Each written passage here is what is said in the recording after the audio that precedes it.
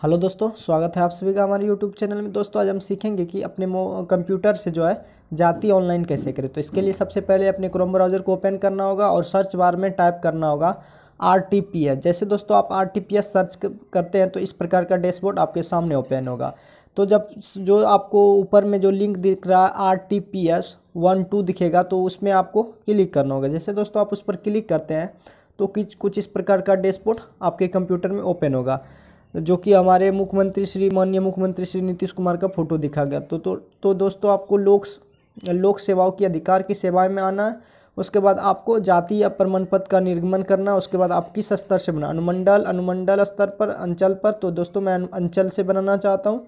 तो अंचल पर मैंने दोस्तों क्लिक कर दिया हूँ। क्लिक करने के बाद आपको इस प्रकार का डैशबोर्ड आएगा। इस प्रकार का डैशबोर्ड आने के बाद आपको अपना फॉर्म फिलअप करना होगा। तो सबसे पहले अपना लिंक नेम ऑफ़ अप्लीकेश उसके बाद father's name mother's name father's name mother's name अपना और अगर शादीशुदा है तो हस्बैंड का नाम और पति का नाम, हिंदी में. तो दोस्तों आपको अपना ईमेल और मोबाइल नंबर डालना, उसके बाद स्टेट डालना, इस तरह अपना नाम ग्राम पोस्ट डालना तो दोस्तों मैं चलिए फिल करके दिखाता हूँ.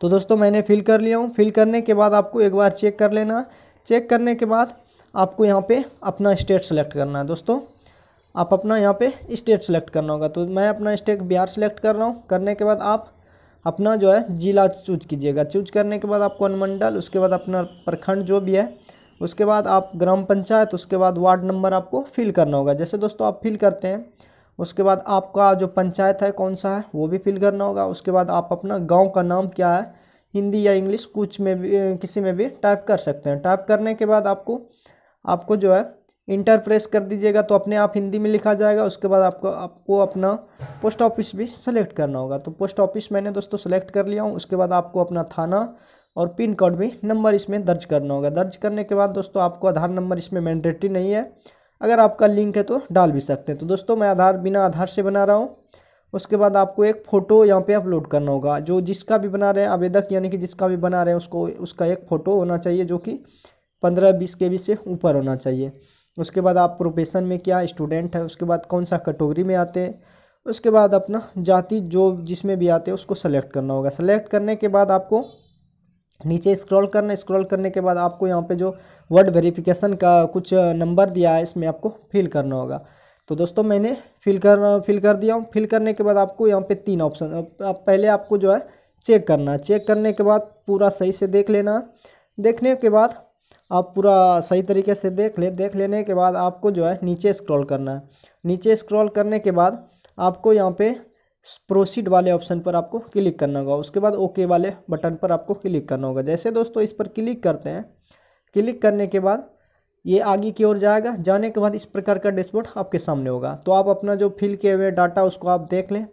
नाम नाम जो भी आप इसमें पूरा बायोडाटा फिल किए हैं उसको उसको देख ले सही से, अपना मोबाइल नंबर और ईमेल भी देख ले। देख लेने के बाद नीचे स्क्रॉल करना, स्क्रॉल करने के बाद अटैच एनेक्जर पर क्लिक करना। दोस्तों अटैच एनेक्जर पर क्लिक किए। क्लिक करने के बाद आप इसमें डॉक्यूमेंट अपलोड करना होगा। तो दोस्तों, मैं मतदाता मतदाता पहचान पर आधार कार्ड मनरेगा जॉब कोड इस तरह का जो डॉक्यूमेंट आप इसमें अपलोड कर सकते हैं। तो दोस्तों, मैं अपलोड आधार कार्ड कर रहा हूँ। तो आधार कार्ड को पीडीएफ में अपलोड करना होगा, जो कि 200 के से हमेशा ऊपर होना चाहिए। अगर आप चाहते कि पीडीएफ में कैसे बनाए तो उसका भी वीडियो का लिंक मैं डिस्क्रिप्शन बॉक्स में दे दूँगा। उसके बाद आपको सेव एनेक्जर पर क्लिक करना है। सेव एनेक्जर पर आप जैसे क्लिक करते हैं तो कुछ कुछ इस प्रकार का जो है डैशबोर्ड आपके सामने ओपन होगा। ओपन होने के बाद आपको फिर से एक बार अपना डाटा देख लेना डाटा देखने के बाद आपको नीचे स्क्रॉल करना है। आप नीचे स्क्रॉल जैसे करेंगे, उसके बाद आपको सबमिट वाले ऑप्शन पर क्लिक करना होगा। जैसे दोस्तों आप सबमिट वाले ऑप्शन पर क्लिक करते हैं तो ये लास्ट स्टेप है। तो दोस्तों ये बन के जो है रेडी हो गया। आप इसका प्रिंट भी ले सकते हैं। तो दोस्तों इस प्रकार से आप अपने कंप्यूटर में जाति को ऑनलाइन अपना कर अप्लाई कर सकते हैं।